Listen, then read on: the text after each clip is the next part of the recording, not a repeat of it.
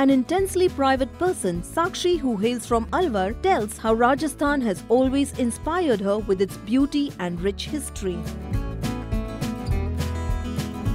I always travel by road when visiting Alwar, taking in the beauty of the countryside. Rajasthan has always inspired me for its natural beauty and rich history.